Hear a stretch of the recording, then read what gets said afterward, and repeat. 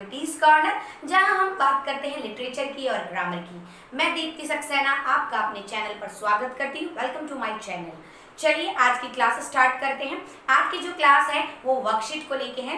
मैंने नाउन के ऊपर वर्कशीट बनाई है, जिसमें मैंने तीन काइंड को प्रेजेंट किया है।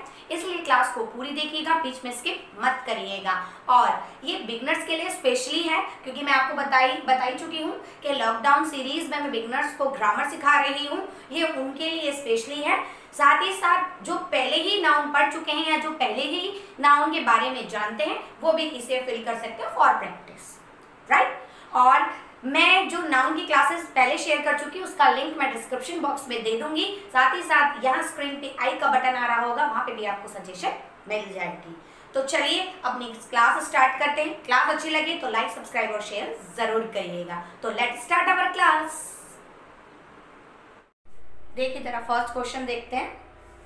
Capitalise the proper nouns in the following sentence यानी कि आपको इसके अंदर कैपिटलाइज करना है। कैपिटलाइज कहते हैं, एक पंचुएशन होता है। जैसे कि कोई सेंटेंस है, गलत लिखा है, आगे पीछे लिखा है, उसको सही करके लिखना फुल स्टॉप का इस्तेमाल करना, पहला लेटर कैपिटल बनाना पंचुएशन पे भी मैं क्लास बनाऊँगी, फिर भी। सिर्फ़ आपको इसके अंदर कैपिटलाइज करना है, जो प्रॉपर नाउन है। क्या है? जो प्रॉपर नाउन है, उसको आपको, जो उसका फ़र्स्ट लेटर है, उसको बड़ा करके लिखना है, ताकि पता चल जाए कि वो आंसर ठीक है ठीक है? उसको कैपिटलाइज करना है, जो प्रोनाउन है। जैसे पहला है, Pandit Nehru was a famous leader second Agra is a famous for the Taj India is the largest democracy in the world the Ganga is a holy river the British still honour the queen right ये पहला question है। चलिए, अगला question देख लेते हैं, ठीक है? चलिए सेकेंड क्वेश्चन देख लेते हैं। Underline the material noun in each of the sentences that means आपको इसके अंदर से मटेरियल नाउन को फाइंड आउट करना है दैन उसे अंडरलाइन करना है। After underline you comment me on comment box right आप मुझे कमेंट करके आंसर बताएँगे मेरे कमेंट बॉक्स में, ठीक है? पहला क्वेश्चन पहला देखते हैं।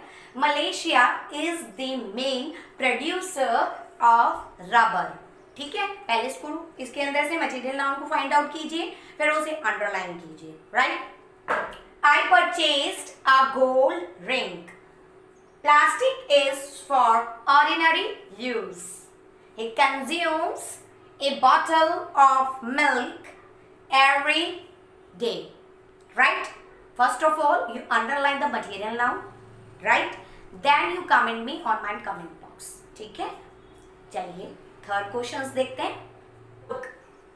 Identify the common nouns in the following sentences that means you find out common noun already मैं इसका एक वीडियो बना चुकी हूँ और आपको शेयर भी किया है। मैं लिंक दूँगी, मैं बार बार आपको बोल रही हूँ, मैं लिंक दूँगी। आप वहाँ जाके पहले से प्रिपेयर कीजिएगा। Then after solve it right next देखते हैं, आगे। My brother swims like a turtle the temple was built before my father was born. Next है the monkey was hanging from a branch. Right? ये तीन question number third के तीन मैंने options दिए हैं आपको इनको आपको सॉल्व करना है और फिर आप मुझे कमेंट बॉक्स में लिख के बताएँगे यह आपकी वर्कशीट है नाउन की, जिसमें मैंने आपको तीन नाउन्स को कवर किया है उनकी क्वेश्चंस बनाए हैं और आपके साथ शेयर किए हैं ठीक है? आई होप सो आपको ये वर्कशीट अच्छी लगेगी इजी लगेगी तो आप मुझे ज़रूर कमेंट बॉक्स में आंसर लिख के भेजिएगा, मैं देखूँगी।